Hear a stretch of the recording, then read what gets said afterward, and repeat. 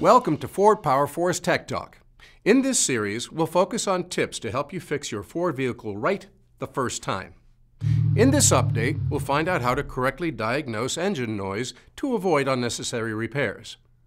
Diagnosing engine noise can be a costly challenge.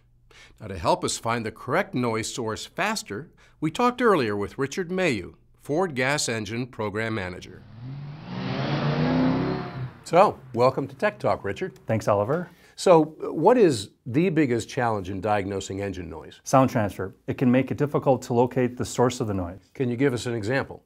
Sure, a failed roller finger follower is one example. It's common to misinterpret this sound as lower engine noise because of sound transfer. This can lead to replacing an entire engine and expensive over repair. How do we avoid an over repair? First, verify the noise.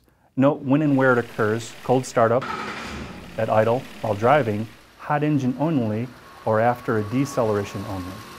Is the noise loudest at the upper end or at the oil pan? So on. To avoid misdiagnosis, remove the serpentine belt to eliminate any engine accessory noises. These can be mistaken for an internal engine failure. Also, avoid running the engine too long without it, or the engine can overheat.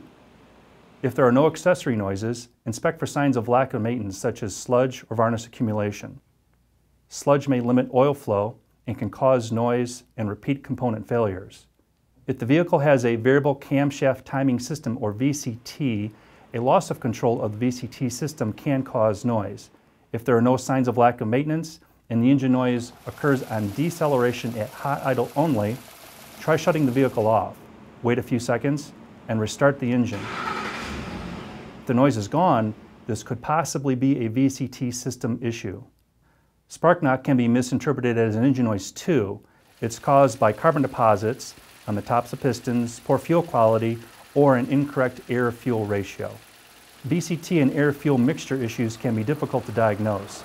If these systems are suspect during the diagnostic process, please visit motorcraftservice.com or visit your local dealership for a full diagnostic analysis. If you haven't found the noise yet, cancel cylinders with the Integrated Diagnostic System or IDS. All right, I'm going to cancel number one. Cancellation removes pressure or force on the lower end components of that cylinder. Less pressure can cause a change in the noise. You may need chassis ears or a mechanic stethoscope to hear the change, but if you do, it suggests a lower end engine noise. Keep in mind canceling cylinders does change engine RPM. This can affect upper end engine components too, so it's important not to go too far too quickly. Next, check the engine oil pressure, then keep record of your results. Is the noise present? At cold and normal operating temperatures, at idle, at elevated engine RPM, and after deceleration at idle. To check for a lower end engine failure, inspect the engine oil filter pleats. If you find excessive bearing metal, you need to start a full engine failure analysis. Next, inspect the valve train components. It might sound as if it's a lower end problem when really the problem is in the cylinder heads. Rotate the camshaft on the base circle so that the camshaft lobe doesn't compress the intake or exhaust valve and the valve train. A loaded valve train can hide loose, worn, or broken components.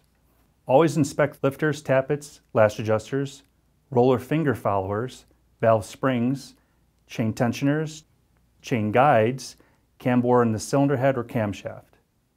When you inspect the camshaft and cylinder head journals, remember that light scoring might not be an issue. Severe scoring is cause for concern.